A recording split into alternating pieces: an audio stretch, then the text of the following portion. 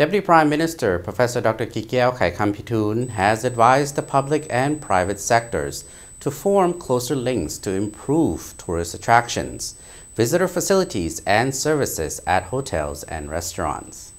เรียกงานแถลงข่าวเห็นว่าได้มีการปรับปรุงอย่างต่อเนื่องทั้งในด้านเนื้อในก็คือหูการเฮ็ดให้มาตรการ Deputy Prime Minister Professor Dr. Kikeo Khaykhamphithoune said on Tuesday when addressing a meeting to report the ministry's 2023 annual work summary and plan for 2024. ถือสำคัญเวียกงานก่อสร้างพรรคนั่นแม่นเวียกงานกุ๊กที่พวกเขาจะต้องเฮ็ด According to him, improvements should be made to ensure quality services and develop activities and diversify tourism products that relate to the country's many ethnic groups, as well as develop agritourism. The government and businesses should collaborate to advertise, develop, and manage cultural, historical, natural, agricultural, and sustainable tourism with the participation of local communities. This would encourage more local people to engage in tourism, use Lao products, and help ensure that all tourism related business are better regulated. The Deputy Prime Minister also noted that over the past year, the information, culture, and tourism sectors in both central and local areas had made significant progress.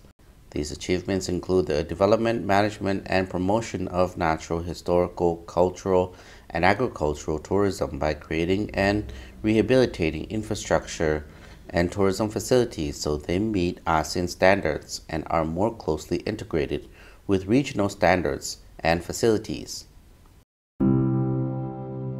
In addition, many important tourism sources have been explored and developed. A plan has been created to restore tourism in Laos, and much has been done to support foreign tourism events. กระทรวงของพวกเขาจะต้องสืบต่อค้นคว้าเบิ่งขึ้นว่าผ่านมาในฮอดปัจจุบัน Professor Dr. Kikeo said tour guides have improved their skills and are gradually approaching international standards. All of this has contributed significantly to the overall performance of the party and government and is a solid foundation for the advancement of tourism in the coming years. However, there are still some issues involving the development and management of tourism operations, especially concerning centralization.